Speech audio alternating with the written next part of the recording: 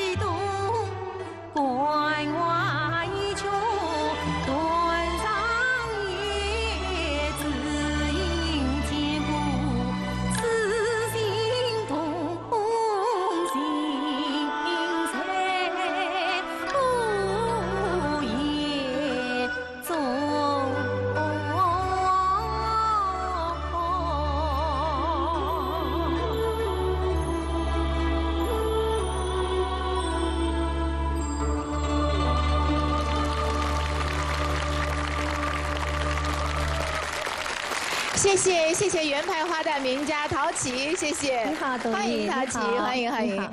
哎呀，陶琪一来呀，我们知道，尤其是喜爱越剧的朋友们，那对他肯定是非常熟悉了。很多的代表作，比如说像越剧《李清照》啊。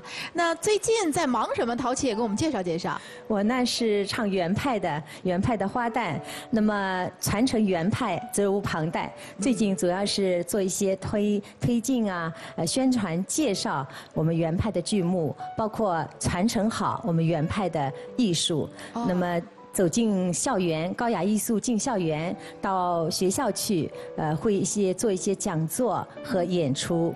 嗯，那我可以理解，最近一直在忙着教学工作了哈。对，还有一些传承工作，因为现在也有很多的青年演员学唱原派，那么我们希望把原派的艺术能够呃代代相传下去。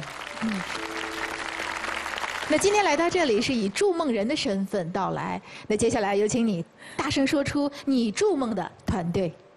都说兴趣是最好的老师，在我们南京有这么一群零零后、一零后的越剧小粉丝，他们从三岁、四岁就开始喜欢越剧、传唱越剧，如今他们已经是各大演出的老演员了。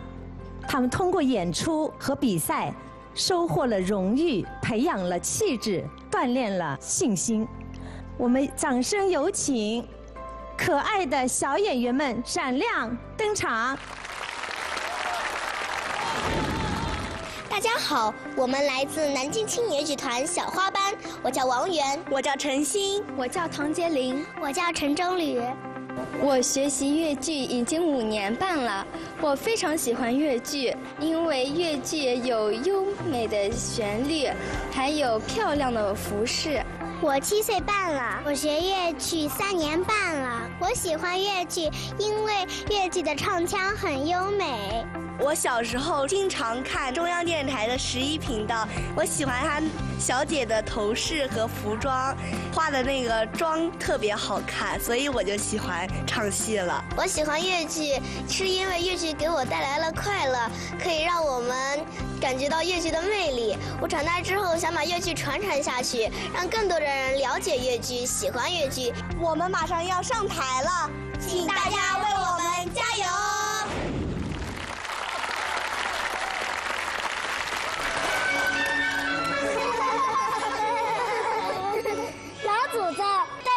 玉妹妹今年多大了？老祖宗，黛玉姐姐喜欢吃什么呀？老祖宗，黛玉妹妹今天穿什么衣服呀？老祖宗，听我说。别吵了，别吵了，黛玉一会儿来了，你们不就知道了吗？黛玉马上就要进府了，你一切可都安排好了吗？老太太放宽心，外孙女来了，就什么都不用担心了，衣食住行我都吩咐下去了。可真是这样就好了。老祖宗，听闻林妹妹是个高雅之人，我特意请了非遗文化传承人金陵沈简章，剪了吉祥如意窗花早把林妹妹的闺阁装扮的文雅别致了。好，好啊。老祖宗都知道林妹妹身子弱，我为她备了各式各样的美食，小笼包、鸭丝蟹、牛肉锅贴、十几包、鹅溜干、小元宵、鸭血粉丝五色糕，真好吃，真好吃。还有呢，还有烧麦茶散葱油饼、蒸饺汤圆、豆腐脑。老祖宗，老祖宗。我也为林姐姐准备了礼物，秦淮灯会马上就要开始了，我已经在网上订好票了，届时邀林姐姐去赏花灯，定让她在我们这里住的乐不思蜀。你们姐妹如此贴心，我那黛玉定会在这住的很开心的。来了来了，林妹妹，来了。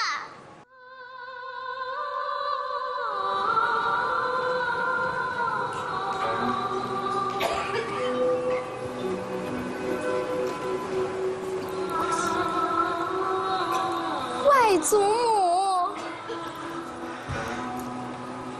我可怜的心肝宝贝呀、这么年幼就没了亲娘。老太太切莫太伤心了。如今外孙女儿接来了，一切都好了。哦，来，这是你二舅母，快来见过。二舅母，外甥女快请起。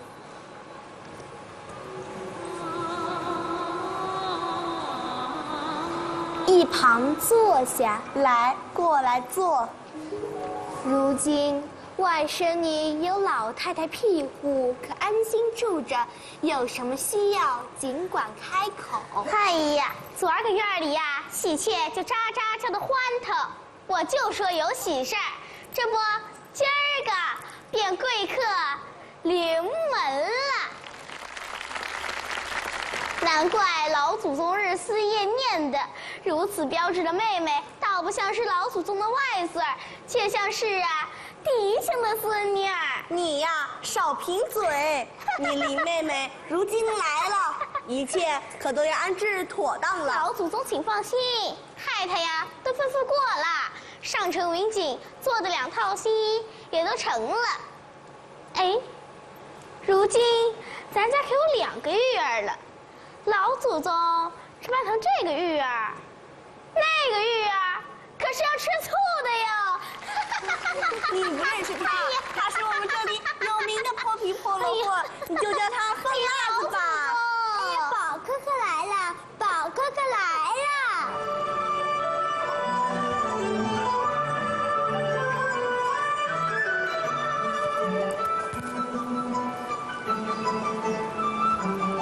请老子安，请太太安。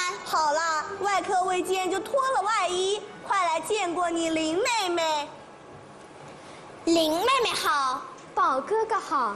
妹妹却不像传闻中说的体弱多病，旅途也未见劳累嘛。如今杭州到南京的高铁只需一个小时车程，却不曾劳累。宝玉啊，你林妹妹以后来我们家常住，你可要多照顾她些呀。请老子放心，这个妹妹，我好像在哪儿见过呢。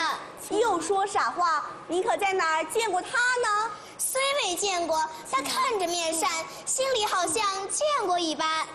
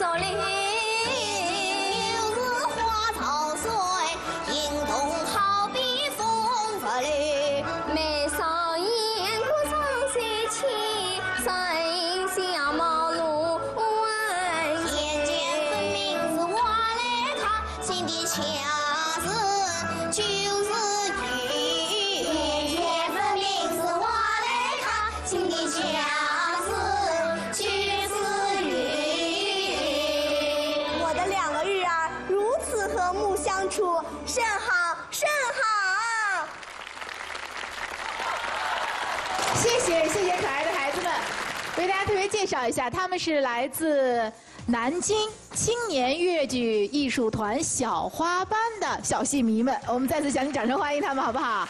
远道而来的小客人哈，这跟我们介绍介绍吧，咱们这个多大的孩子啊？我们小花班最小的孩子有只有四岁，哦，那最大呢？最大的有十四岁，那今天来的这孩子最小的六岁。谁是六岁呀、举手我看看。啊，这位小朋友最小哈，你叫什么名字啊？尤春熙、你演的这个人物叫什么呀？探春，探春哈，《红楼梦》我们观众朋友们看过好多版本了，那你们都看过哪些版本的《红楼梦》啊？我就看过八七版的《红楼梦》和小戏骨。啊，看过这两个版本的，还有谁有不同意见？哎呀，我还看过电影版的，就是王文娟老师。哎，越剧电影版的哈，所以说你们是不是全部都学习过越剧啊？嗯，这里面谁学的时间最长一点？我们都学五年半了，五年半，那你今年多大了？十一岁十一岁，那就六岁的时候开始学的是吗？你学什么行的？就学那个花旦，学花旦，学什么流派呢？最主要还是学王派。王派哈，还有谁学过别的流派？王夫人是吗？嗯，我学的是小生尹派。哇，这个反差大的，要不要给我们来一句好不好？好，来有请。那我唱一个《沙漠王子算命》吧。掌声送给他。随父亲儿心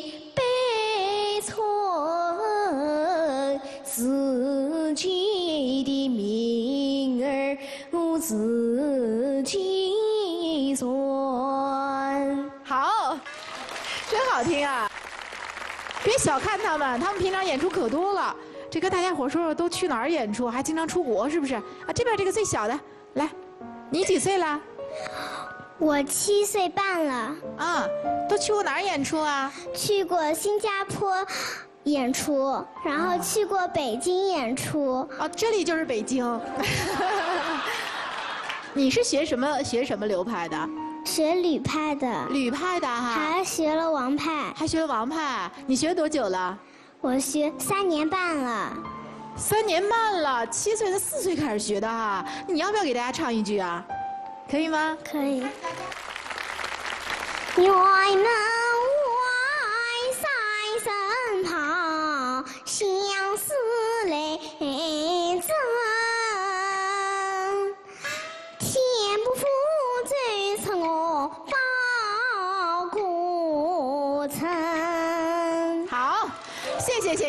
你看看我们这一个个哈，这小灵精哈都是都特别棒。这谁还要说什么？宝玉，宝玉哥哥，我不是说就是单独就学的，我是花旦、小生都学，而且什么派都学。哦，你看我们说了，我们什么都会。他们刚刚那是抛砖，我这玉在这儿呢，半天了是吧？我想唱那个小生的《唐伯虎点秋香》是 B 派，B 派啊，来。相约当内把我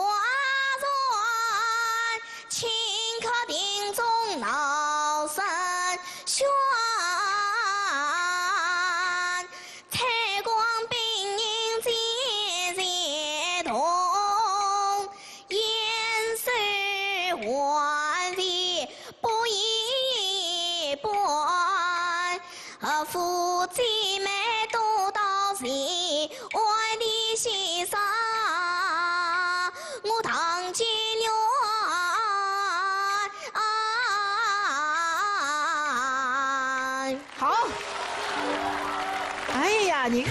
传统文化，让我们这些孩子们变得更加自信了。今天我们这些可以说是个个都是小戏骨，来到我们梦想微剧场的舞台，除了给大家要展现他们会的越剧之外啊，还带来了南京的小吃，是不是啊？是。给我们带什么了？我带了四色糕。你跟大家介绍介绍什么是四色糕呀？就是四种颜色的糕，不是合在一起的，哦是一块一块的。哦，还有什么呢？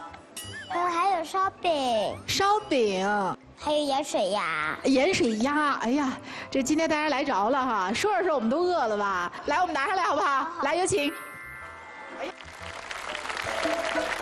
请我们现场的观众朋友品尝一下咱们南京的美食。四色糕啊，尝一尝，四种颜色，大家可以帮着传一传啊。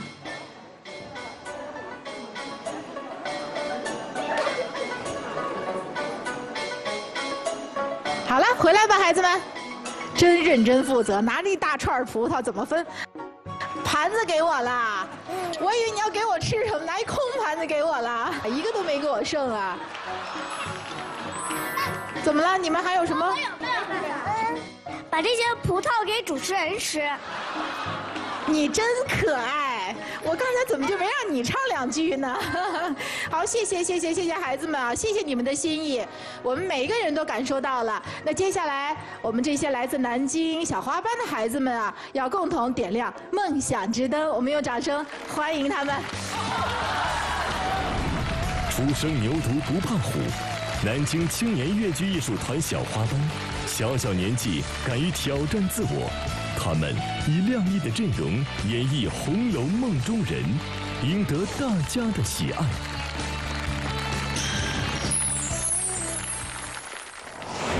接下来为您。介绍的这位筑梦人啊，是来自浙江越剧团的小生名家。他学习陆派艺术，却又不拘泥于单一的流派，在艺术的舞台上塑造了一个又一个栩栩如生的艺术形象。接下来就让我们用掌声欢迎越剧小生名家廖奇英。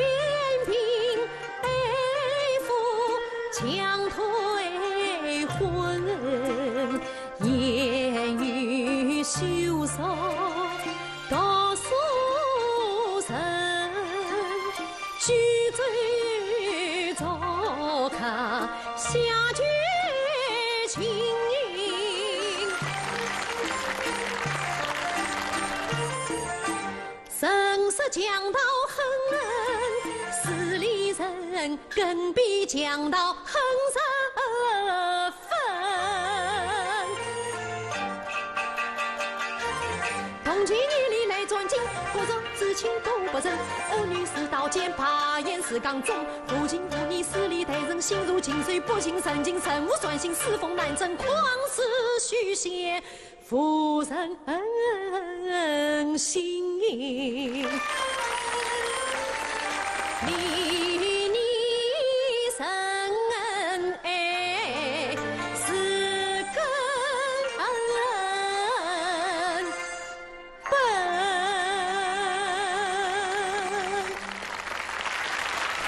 谢谢来自浙江越剧团的陆派小生廖群英。你好，董英欢迎欢迎。这个好久没见您啊！我们平常在舞台上看到您，不仅塑造陆派小生的形象，比如说刚才的《珍珠塔》里的方清哈，还有一些行当，可以说是跨行当演出哈。对我应该是呃，除了老生没演过，其他应该都尝试过了。呃，花旦，然后老旦、彩老旦、彩旦，都演过，因为。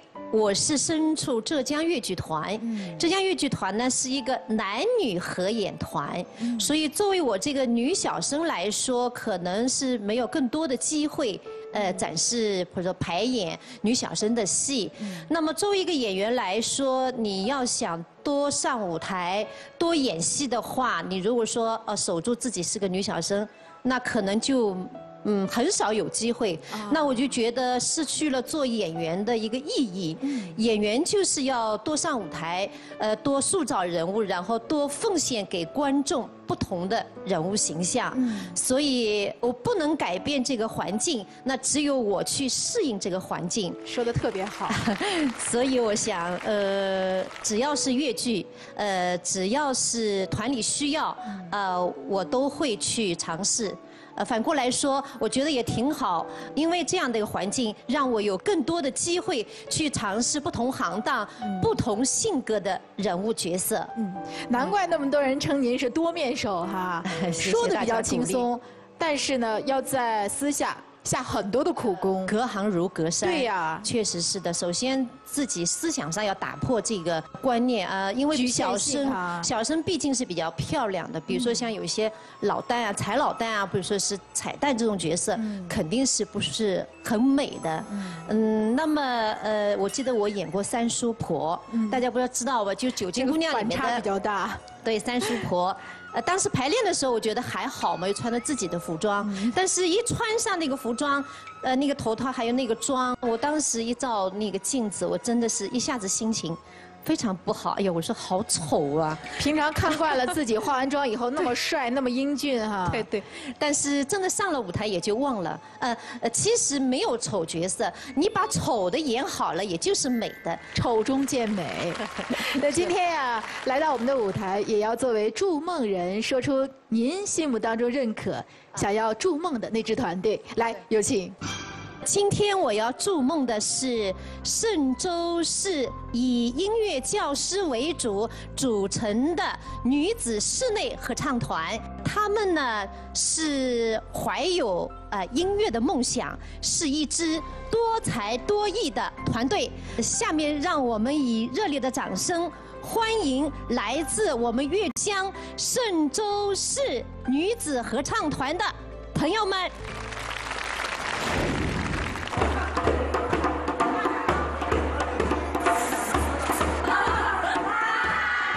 家好，我们是来自嵊州的善韵女子合唱团，我是团长兼指挥姚华江，我是周红，我叫魏东曲。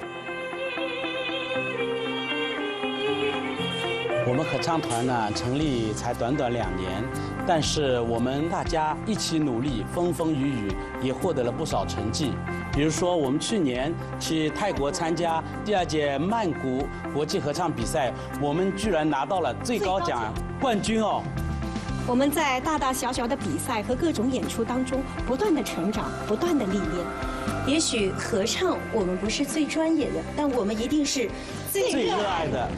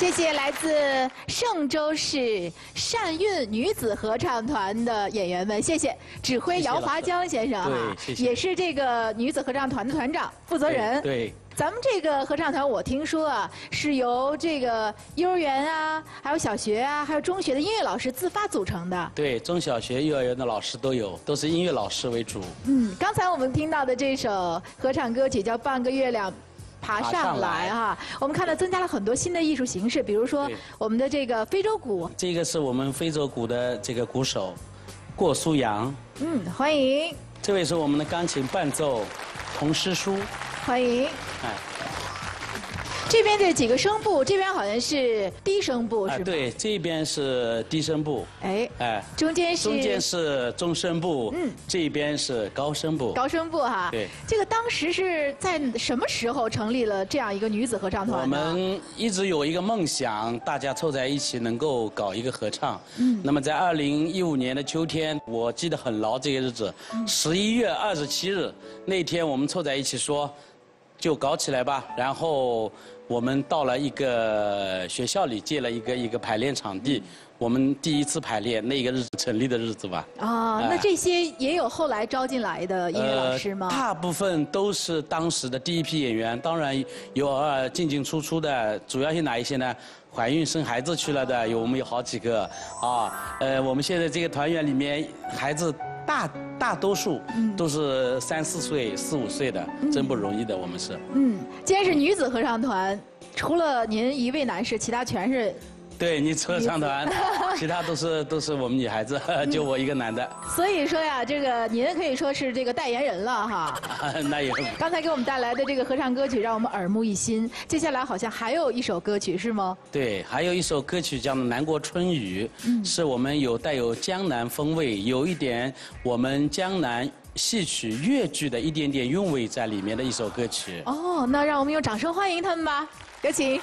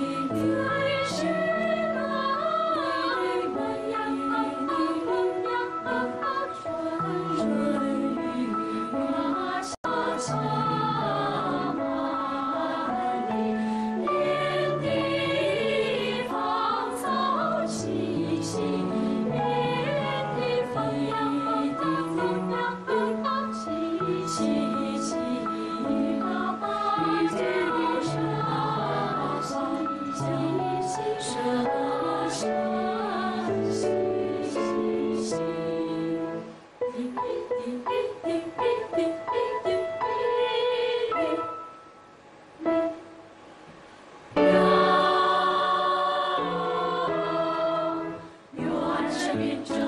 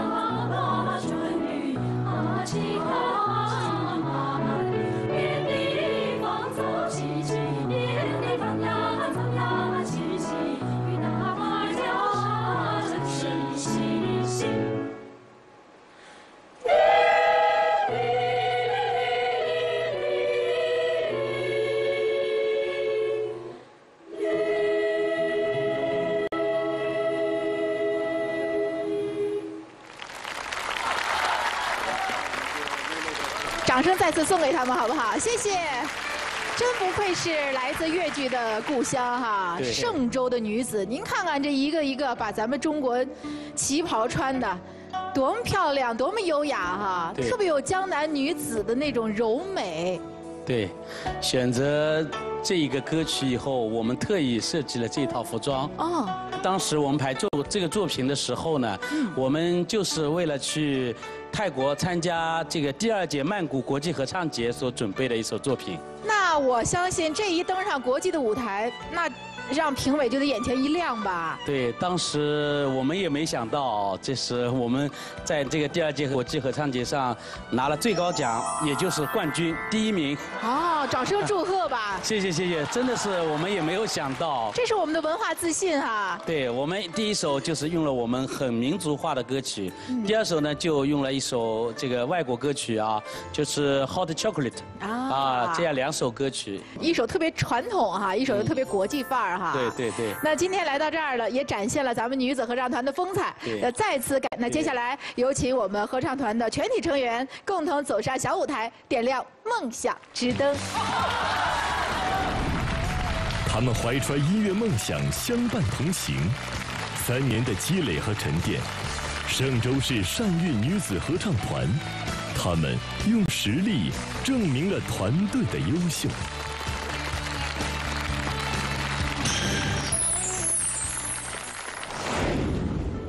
为您介绍的这位筑梦人啊，他是来自北京京剧院的旦角名家。他先宗张，后学梅，先后拜在了薛亚平、梅葆玖两位大家门下。同时呢，他还热心于公益事业，用自己的行动回馈社会。他就是今天的筑梦人江一山，有请。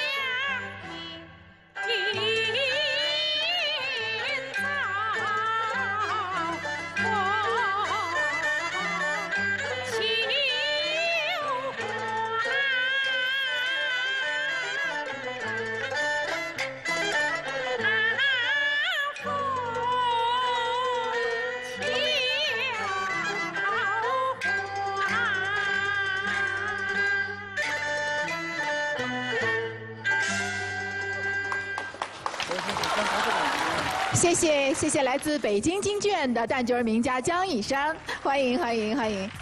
熟悉江一山的朋友都知道啊，既宗张又宗梅，刚才带来的是张派的施文慧啊。对，施文慧。嗯，我们也知道江一山特别热身于做公益事业，最近呢也特别忙。我看你经常会到学校去教教小同学、小朋友们。对，京剧进校园以后，我觉得对这个青少年对京剧的认识是特别大的帮助。作为京剧演员，我们也有这个义务，我也愿意做这些事，教学相长。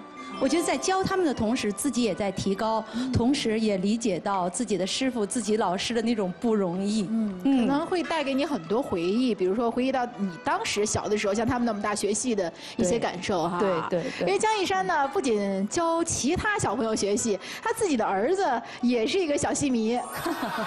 我们也经常会在中央电视台戏曲频道其他栏目哈，也看到。他传承咱们戏曲艺术哈，对，我是将来有什么定向培养吗？你说特别对，我觉得这个京剧啊，就是要传承，要有基因，觉得他就是对这个京剧特别感兴趣，尤其对京剧的伴奏，对京呼特别感兴趣。我就说，哎呀，背个单词可费事了，但是背谱子可快了。那太好了，那你好好培养，将来就出多出一位京胡大家了。他努力吧。今天江一山来到这儿呢，同时也是以祝。筑梦人的身份，要为大家介绍他心目当中要筑梦的那支团队。来，有请。今天我要筑梦的这个团队，他们是来自金融系统的京剧票友，他们真心热爱、执着追求自己的梦想，在业余的舞台上展示着国粹的芳华。今天他们不远千里粉墨登场，来展示京剧的魅力。下面有请。来自中国建设银行湖北省分行的京剧协会的朋友们，大家好，我们是来自中国建设银行湖北省分行京剧票友协会，我叫刘佳燕，我叫于露露，我是何广红。呃，我们协会好像成立了有小十年了啊。嗯，对，现在已经有成员三十多人了。我们平时工作也挺忙的，工作压力也挺大的，但是工作之余，呃，休息的时候听一听京剧，唱一唱京剧，对于我们来说是最好的一种放松的方式。通过这十年中间呢，我们结识了呃很多志同道合的朋友，大家在一起学习钻研。嗯，在未来的呃生活中间呢，我们也会继续学习京剧，然后把国粹呃传承下去，爱好下去，让它成为我我们生活中间浓墨重彩的一笔。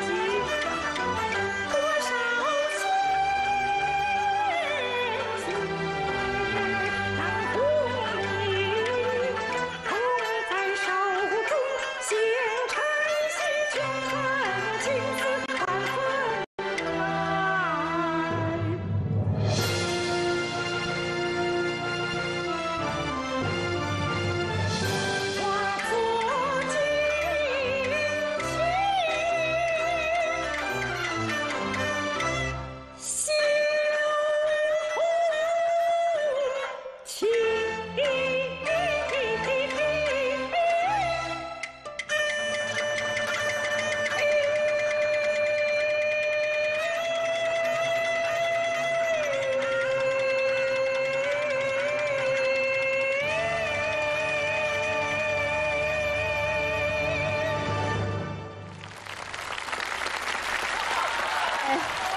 谢谢谢谢来自中国建设银行湖北省分行京剧协会的各位戏迷朋友，先介绍介绍咱们协会吧。什么时候开始有这样一个京剧协会的？我们那个协会是零九年啊，就是到现在也有小十年了。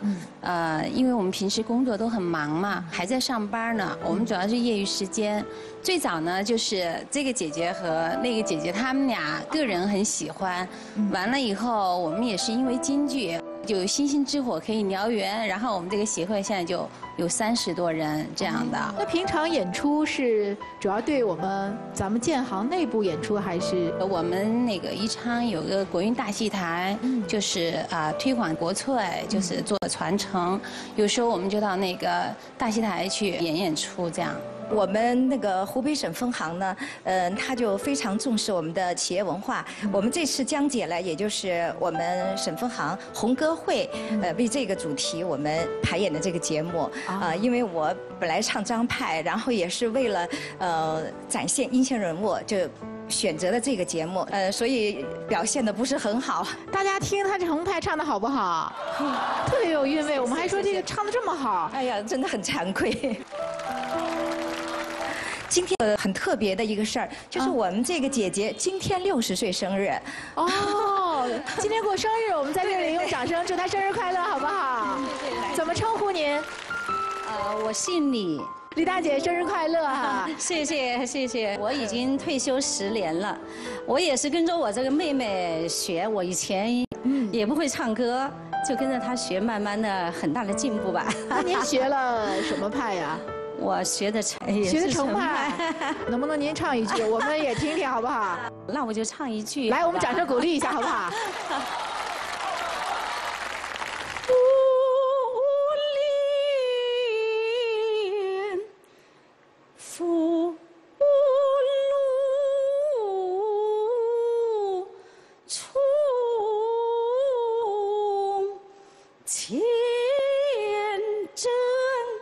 唱这吧，很有城派韵味哈。我们这个姐姐平时在单位当领导，说话呢特别的有水平，哎，对对对。但唱戏呢，她因为她总是在这方面不自信，然后参加了我们这个协会以后呢，就是呃。歌也唱，呃，这个京剧也唱，什么都敢唱了。哦，就性格自信心了。对，他原来性格特别内向，然后学了京剧以后，呃，性格了也慢慢外向了，哎，也会变得非常开朗。所以说，以后像这样子的机会啊，咱们湖北省分行的京剧爱好者们要多来，好不好？好好，谢谢。那接下来有请你们共同点亮梦想之灯，有请。演绎红色经典。唱响国粹京剧，中国建设银行湖北省分行京剧协会以投入的表演、默契的配合，展示了来自金融系统票友的最佳风采。